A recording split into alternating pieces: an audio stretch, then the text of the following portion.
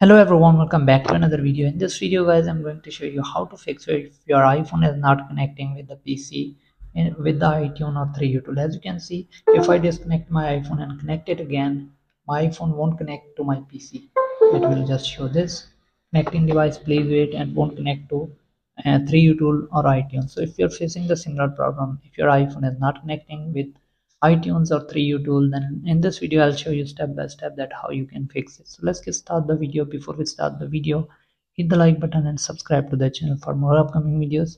So first of all close your iTunes and as well 3U tool once you've done this disconnect your iPhone from the computer and then right click on PC click on manage. Once you're there click on device manager and then connect your iPhone again.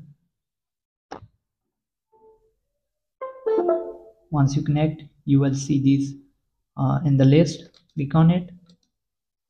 And then click on uninstall device. And click on delete the software. And click on uninstall. Once it's done now go to control panel. Click on uninstall a program. Then delete third-party software like screen mirror.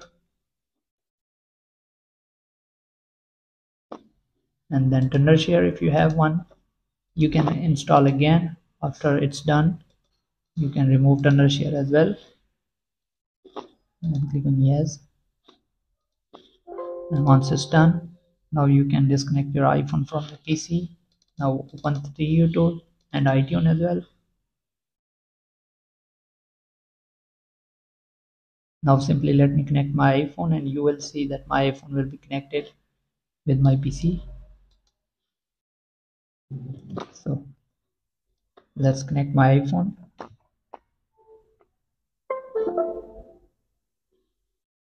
Now click on trust enter the passcode of your iphone on the screen.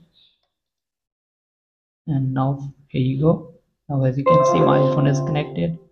Also on the itunes so this is how you can fix the problem.